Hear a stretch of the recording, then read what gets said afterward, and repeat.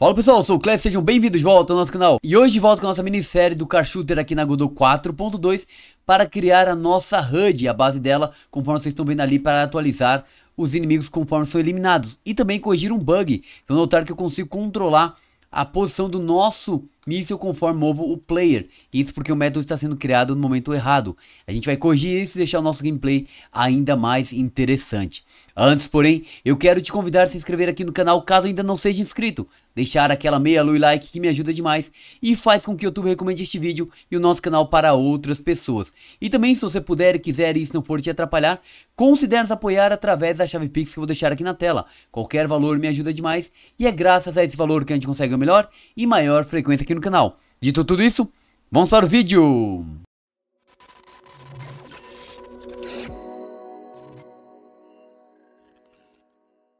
Muito bem, eu já estou com a Godot aberta e a primeira coisa que a gente vai fazer é a estrutura base da nossa HUD, que no próximo vídeo a gente vai melhorar a interface através de alguns toques de design, mas por enquanto vamos deixar a estrutura já montada. Para isso, aqui no nosso nó 2D, vou clicar em mais e procurar por nó tipo Canvas Layer que o Canvas Layer é o tipo de nó que vai ficar sobreposto em toda a cena. Mesmo se nós mudarmos o cenário, ele continua fixo e isso é muito interessante para a gente. Já vou renomear aqui para HUD para representar a nossa Heads Up Display, que já foi trazido em outros vídeos também. Dentro dele, vou buscar aqui o nosso Control, que é o nó do tipo Control Node, que é esse verdinho, e vou deixar aqui como Info, apenas para saber que são a nossa informação. Note que aqui ele está apenas no canto, mas nessa opção eu posso clicar e escolher Full Rect para que ele preencha toda a nossa viewport. E dentro do nosso control, eu vou clicar aqui em mais de novo e vou procurar por margin, que é o margin container, justamente para a gente fazer o conteúdo dele com certo espaço. E também aqui no nosso organizador eu vou em top wide para aprender preencher toda a parte aqui de cima. Agora, para a gente ter um pouco de respiro, eu vou em Teams Override, em constantes, e vou habilitar cada uma dessas margens colocando o valor de 10, que eu acho que vai ficar um respiro bem interessante para a gente, tá? 10, 10, 10, perfeito. O que o margin container tem que ter? Ele tem algumas, algumas colunas.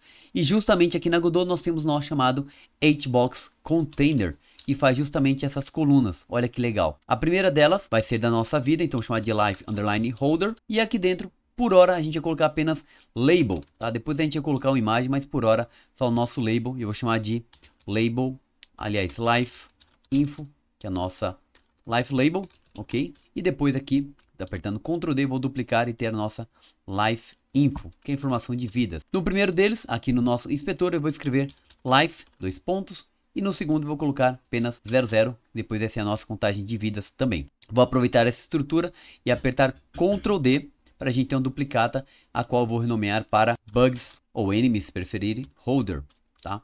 E aqui dentro nós teremos justamente o nosso Enemies Label e o nosso Enemies info, que também vai ser 00 por enquanto, mas aqui eu vou chamar de remaining bugs. Perfeito. Quanto só? Remaining. Pronto, faltou isso aqui. Legal. Notem, no entanto, que estão sobrepostos, mas a gente pode corrigir isso selecionando cada um deles e vindo aqui na nossa ancoragem, mudar um aqui para a esquerda e o outro eu vou mudar para a direita. Pronto, assim fica bem separado cada um deles. Poderia até ter um timer aqui, fica como desafio para vocês também. Mas nossa estrutura está pronta. Lembrando que depois a gente vai melhorar o design disso, mas ela já está aqui sinalizando toda a informação. No entanto, nós vamos atualizar tanto essa vida aqui como esse número de bugs. Então vamos já clicar aqui com direito e escolher a opção Access as Unique Name para ambas as labels. Legal, estrutura montada, vamos salvar, Ctrl S e agora seguir para o script. O nosso script, antes de mais nada, vai precisar de algo que seja acessível entre todos nós. É aí onde vai entrar algo chamado aqui na Godot e em outras programações também de singleton, que nada mais é do que um script ou um objeto que pode ser acessado por todos nós e cenas. Então eu vou aqui no nosso script, vamos aqui acessar qualquer um deles, ó, e em File, clicar sobre, escolher New Script para criar um novo script o qual daria o nome de Global. Vamos navegar até a pasta de scripts para ficar tudo organizado e criar. Podia até ter uma pasta singletons, mas vou deixar aqui em script mesmo. No entanto, só isso não o torna global. Nós precisamos vir aqui em Project, Project Settings, e se estiver em General, ir até a aba Autoload, buscar aqui o nosso script, que é justamente o nosso Global.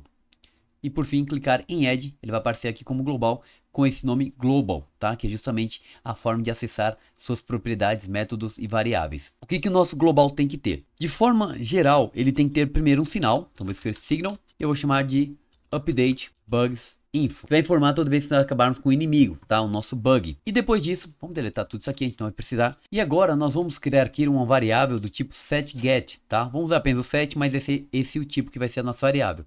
Chamar de var destroyed, destroyed bugs, que inicialmente vai ter o valor de zero. Na sequência eu aperto dois pontos assim, quebro a linha com enter e escrevo set value.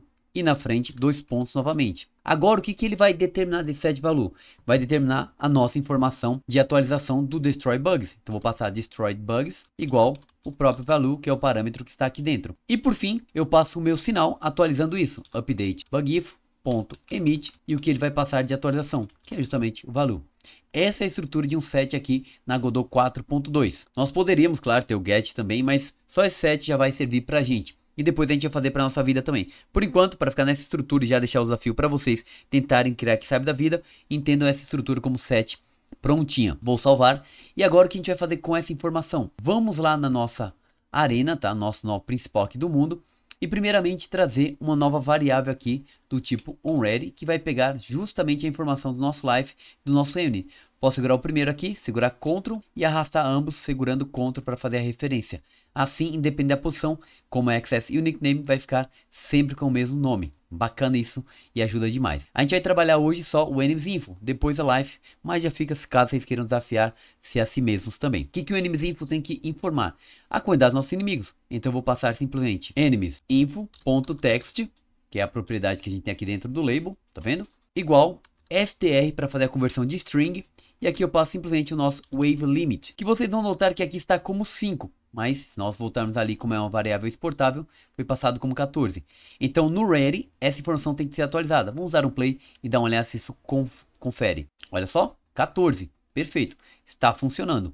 Agora, uma vez está atualizada a informação do texto, eu preciso informar para o nosso global que essa é a mesma quantidade. Então vou passar aqui global.destroyed bugs, note que a gente consegue acessar justamente por conta disso, igual ao nosso wave limit. Então, ele vai ser justamente a mesma quantidade que a gente tem lá. E só para testar, vamos imprimir aqui, global print global.destroyed bugs. Nosso output tem que trazer essa informação aqui embaixo. Olha lá, trouxe 14. Perfeito. Isso é interessante para estar sincronizado as informações. Agora, a gente precisa que a nossa cena seja conectada com aquele sinal que a gente criou anteriormente, lá dentro do Globals. Vamos lembrar aqui que no nosso Globals, vou procurar ele aqui, nosso Globals nós criamos esse sinal. Estão vendo? Mas ele não está conectado ainda eu vou passar justamente a conexão passando global.update, ele já sugere aqui, ponto .connect, é o nome do sinal, mais connect e depois um callable, uma função que ainda não existe, mas eu vou criar aqui chamando de update enemies count. Essa vai ser a nossa função. E para garantir que ela está igualzinha, vou selecionar tudo isso aqui, apertar Ctrl C no teclado e vou criar essa função aqui embaixo. Func Ctrl V para colar e passo aqui dentro. O que, que essa função tem que receber aqui? Ela tem que receber um parâmetro, justamente porque o nosso método recebe isso também. O parâmetro vai ser apenas value, um valor. E aí com isso nós atualizamos o nosso enemies info aqui, ponto .text, passando que ele vai ser igual, abre parênteses aqui e chama como string, é importante essa conversão, abre aspas, digita porcentagem 02, que é o dígito que a gente quer. Eu já falei isso em outros vídeos, vou deixar aqui nos cards para vocês verem também. Modulado por global.destroyedBugs. Isso aqui vai ser atualizado toda vez que algo acontecer. E acontecer justamente o que? A colisão do nosso míssil com o inimigo. Então agora a gente vai lá no nosso inimigo e atualizar o script dele também. Lembrando que o script entre o inimigo é compartilhado. Então toda vez que a área 2D é detectada aqui em uma colisão, a gente vai simplesmente passar assim, ó, global, olha que simples, ponto destroyed bugs menos igual 1. Toda vez que isso acontecer, essa variável destroyed bugs que está lá no global vai ser subtraído 1. A nossa arena recebe essa informação porque o sinal está aqui conectado e posteriormente atualiza aqui dentro do nosso HUD. Aqui no nosso 2D, vamos testar e ver se está tudo ok. E aí a gente vai perceber que eu não consigo atirar. E eu deixei o erro propositalmente, poderia ter corrigido antes, mas ele não atira. Por quê? Nós temos aqui a nossa HUD, que é um Canvas Layer. E a Godot põe sempre a Canvas Layer acima de tudo. Ela é uma camada acima de todos nós. Inclusive da tela. Então ele não está clicando. Para a gente corrigir isso bem simples, eu vou no script aqui do nosso Gobot, tá? Façam isso e mudem de Unredo Input para Input. Apenas isso. Agora a gente vai conseguir disparar. Olha só, já está disparando. Vamos ver se atualiza o nosso Bugs Counter ali, nosso contador de bugs. Olha lá, foi para 13, estão vendo? Está contando perfeitamente, olha que bacana. Só que para finalizar, e eu vou mostrar para vocês, eu vou atirar. Olha como o míssil vai mais para frente, eu vou atirar e vou para trás e o míssil vai ficar para trás. Porque esse míssil está seguindo a posição do nosso player. A gente precisa corrigir isso, que é bem simples também para finalizar esta aula. Vamos aqui no nosso player, no script dele, e perceber que no momento da instanciação, falha minha na outra aula, eu coloquei add child, tão habituado. Na verdade, é add sibling, tá? Que é o novo método aqui na Godot 4 em diante, para colocar esse nó não como filho, do nosso Gobot, mas sim como irmão, sibling. Logo ele vai nascer na raiz aqui, sendo filho realmente do mundo e a gente não tem mais esse controle em relação à posição do nosso bullet. E assim a gente finaliza aqui o nosso vídeo de forma bem rápida, mais legal o jogo já ganha um espaço diferente aqui do gameplay. A gente tem a contagem, claro, falta estilizar, que a gente vai fazer na próxima aula, e também fazer o game over e o estado de vitória para que o nosso mini car shooter aqui fique sensacional. E aí, para eu saber que vocês chegaram até o final do vídeo, eu vou pedir para vocês comentarem aqui, hashtag HUD. Assim eu sei que vocês assistiram o vídeo até o final e isso me ajuda demais. E caso vocês queiram se tornar um membro, assim como esses estão aparecendo aqui na tela, para apoiar a criação de conteúdo, basta clicar no botão Seja Membro. Assim você faz parte desse hall fantástico que nos ajuda a criar conteúdo, do qual eu quero agradecer imensamente a contribuição que tem feito a gente trazer conteúdo e fazer a comunidade Godot crescer cada vez mais. Sem mais, muito obrigado, até o próximo vídeo e valeu!